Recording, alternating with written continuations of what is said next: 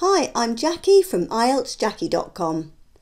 In this video, you'll learn four key skills that you need to master to score highly in the IELTS listening test. These are prediction, recognising synonyms and paraphrasing, recognising distractors, and understanding connected speech. If you learn and practice these, you'll be well prepared for your test. We'll start with prediction. Before each recording plays, you'll have a short time to read through the question. As you do this, try to predict what the answers might be. This will focus your mind on what to listen out for in the recording. Occasionally you'll be able to predict the actual word, but mostly it's one or more of these three things that you'll be able to determine. The type of information required, for example, a surname, a place name, a date, phone number, postcode percentage or price. The type of word required, such as a noun, an adjective or a verb. Or synonyms and paraphrasing that might be used. For example, a quarter used instead of 25%, or business functions for corporate events. Any clues you can get will help you to understand the audio and identify the information needed for the answers. Here's a demonstration of how valuable this skill is. Read this sample question and try to predict the sort of words you'd need to listen out for in the recording. Pause the video and have a go at this before checking my predictions on the next slide. Here are my predictions for this question. Answer 1 will be a time. Answer 2, a place name. Answer 3, a place or street name. Answer 4, a number. And answer 5, another time. By doing this quick activity in the short period of time you're given before the audio starts, you can get a fairly good idea as to what information you need to know. This will greatly improve your chances of identifying the correct answers. Something you can be certain of is that the spoken text will contain synonyms and paraphrasing of key words and phrases in the questions. So, don't expect to hear the same vocabulary in the recording as is written in the questions. Here's an example. The first column of this table contains the question or answer from a past paper. The second column is a transcript of the sentences in the recording that contain the answers. I've underlined the matching phrases. Number 1. The park was first built in 1979. Paraphrased as, the park itself wasn't developed until 1979. Number 2. The September Celebration Day is held to remember the history of the park. Paraphrased as, the September celebration is a special day to honour the park's development, from the tiny beginnings to the huge enterprise it is today. Number three, the Hurricane roller coaster is tall and made of wood. Paraphrased as, it's the highest wooden roller coaster in the country. And number four, the rides with a height limit are coded black. Paraphrased as, and black. Well, this means that you must be at least 110 centimetres tall to ride, regardless of age. Pause the video and spend a few moments comparing the language to understand how synonyms and paraphrasing have been used. If you've studied my vocabulary lessons, you'll know that I recommend writing down and learning a couple of common synonyms for every new word you learn. This will help you to quickly build up an extensive and versatile vocabulary.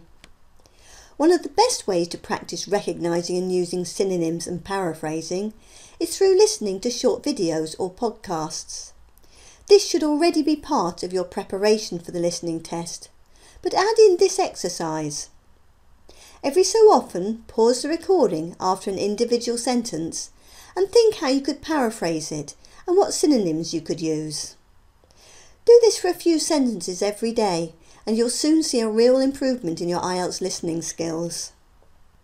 A technique you can use in the exam to help you deal with synonyms and paraphrasing is to identify the key words or phrases in the question and quickly think of synonyms or related words that might come up in the recording. You'll only have 20 or so seconds to do this before the recording starts, but it could make a huge difference to how well you understand the audio and how successful you are at identifying the answers. Underline or highlight the key words as I've done in this illustration. In answer A, I've picked out media as a key word.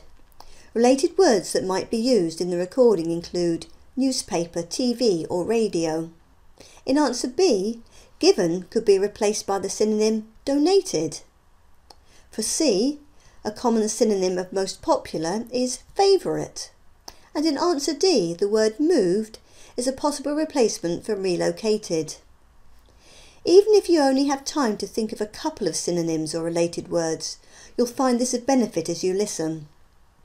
Another important listening skill is the ability to recognise distractors. These are words or phrases used by a speaker to qualify something or to correct themselves or another speaker.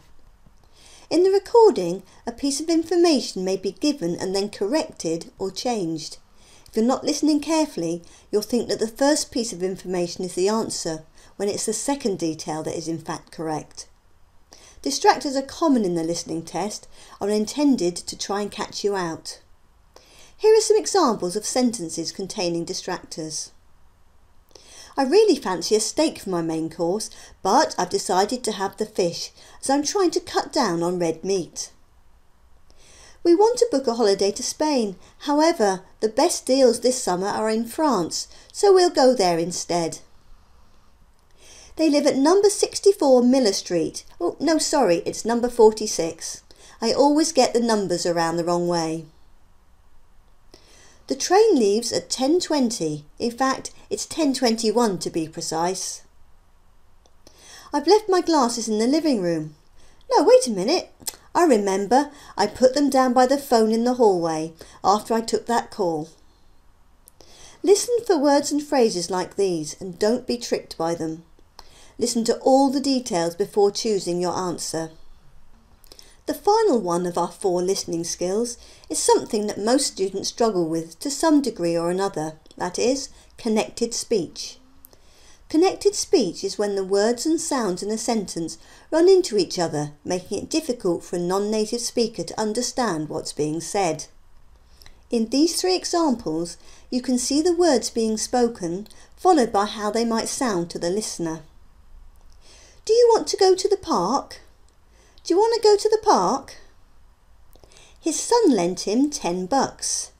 His son lent him ten bucks. I have to visit my grandma.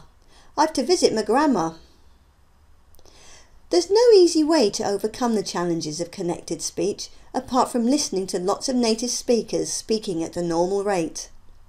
Podcasts are ideal for this as you can pause them and listen to confusing sentences over and over again until you fully understand what is being said. You'd be surprised at how quickly you tune in to fast-paced speech with regular practice. This is an excellent exercise to do on a regular basis and will quickly improve your listening skills. You'll be able to find hundreds of topics that interest you and are relevant to the IELTS exam, so make this a daily exercise. Whilst these are the four key listening skills, I have some other skills to teach you that will save you from making unnecessary errors in the test. They're all covered in my lesson titled IELTS Listening Exercises. There's a link to it in the notes below this video. Thank you for watching and goodbye for now.